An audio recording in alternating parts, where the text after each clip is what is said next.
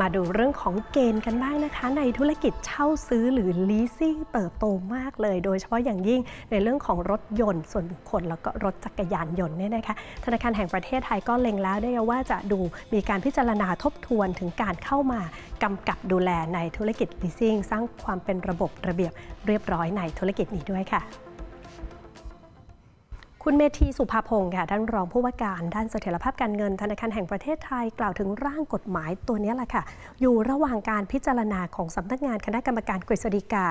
ทบทอยู่ระหว่างการเตรียมการรองรับการดำเนินการตามกฎหมายดังกล่าว อย่างเช่น ต้องทยอยหารือกับผู้ประกอบการธุรกิจและผู้บริโภค เพื่อให้มั่นใจได้นะคะว่าเมื่อกฎหมายมีผลบังคับใช้ ทบทจะสามารถเข้ามากำกับดูแลเพื่อคุ้มครองผู้บริโภค และดูแลเสถียรภาพด้านการเงินได้อย่างเหมาะสม ส่วนการรับมือกับหนี้ครัวเรือนและหนี้เสียที่เร่งตัวขึ้นทปทไม่ได้นิ่งนอนใจค่ะ หารือกับสถาบันการเงิน ขอความร่วมมือดำเนินมาตรการช่วยเหลือลดต้นทุนการเงิน และภาระหนี้ครัวเรือนของประชาชน เนื่องจากเกรงว่ากระทบต่อการฟื้นตัวของเศรษฐกิจ และคาดว่าจะได้ข้อสรุปเร็วๆนี้ค่ะ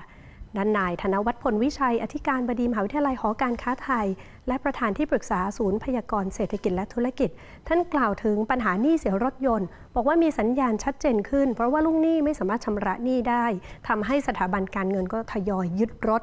ดังนั้นหากลูกหนี้มีปัญหาขาดส่งเงินงวด ควรจะเข้าไปเจรจากับสถาบันการเงิน หรือว่า leasing ก่อนที่จะเกิดเป็นหนี้เสียค่ะ สัญญาณหนี้เสียหรือ NPL ที่เกิดขึ้นก็สอดคล้องกับภาวะเศรษฐกิจไทย ที่ยังฟื้นตัวได้ไม่เต็มที่ หลังจากเกิดการระบาดของโควิด -19 มานานเกินกว่า 2 ปี มีความเสี่ยงที่สถานการณ์หนี้เสียในปีหน้าจะแย่ลง หลังจากที่ธนาคารแห่งประเทศไทยจะยกเลิกมาตรการผ่อนคลายเรื่องของ NPL ค่ะ